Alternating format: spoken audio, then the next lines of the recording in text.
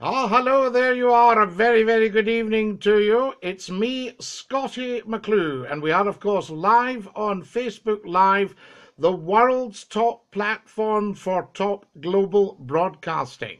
Facebook Live, that's the one for you. I am Scottie McClue. I am the world's top global broadcaster, and here I am with you because it's Burns night for Scottish people and for everyone throughout the Western world, throughout the Eastern world, throughout the whole of the globe. Robert Burns's influence has spent the last 250 years getting round the world. And a man is a man for all that. Robert Burns was a man of the people. And I'm here tonight, your own Scottie McClue, to address the haggis on Burns Night 2017. What I'm going to do now, we shall pipe in the haggis with the bagpipes, and then I shall address it. Pipers, are you ready? Take it away, please. Here are the pipes.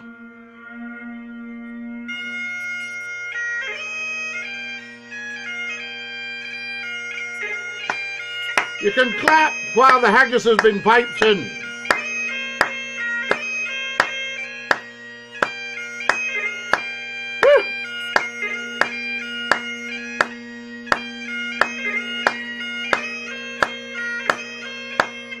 Thank you very much. Marvellous stuff. Thank you to the pipers. A dram for the pipers. And a dram for you, sir. There we are. Excellent. Now then, I have in front of me this finest culinary delight, the Scottish haggis. And I'm going to address it in Robert Burns's own words. Fair for your honest, sonsy face, great chieftain o' the puddin' race.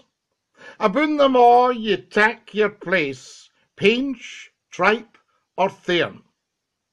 Weel are ye worthy of a grace, as lang as my arm. Thy groaning trencher there ye fill, your hurdies like a distant hill. Your pin would help to mend a mill in time o' need, while through your pores the dews distil like amber bead.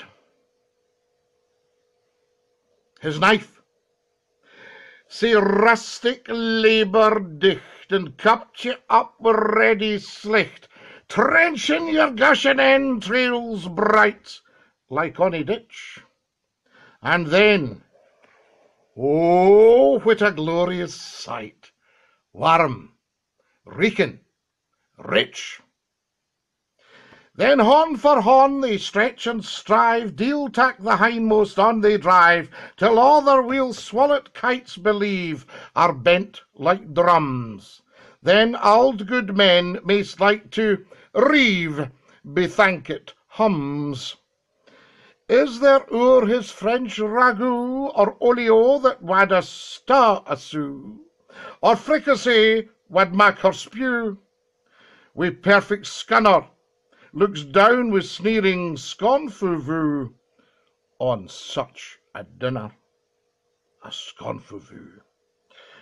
Poor sniveller, see him out his trash, as feckless as a withered rash, his spindle shank, a good whiplash, his neve a nit. There bloody flood or field to dash, oh, how unfit! But mark the rustic haggis fed, The trembling earth resounds his tread.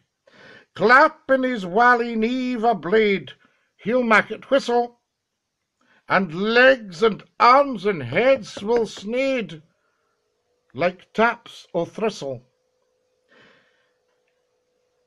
Ye powers, what mak mankind your care, And dish them out their bill of fare. Auld Scotland wants nae skinkling ware that jaups and luggies, but if you wish her grateful prayer, gie her haggis.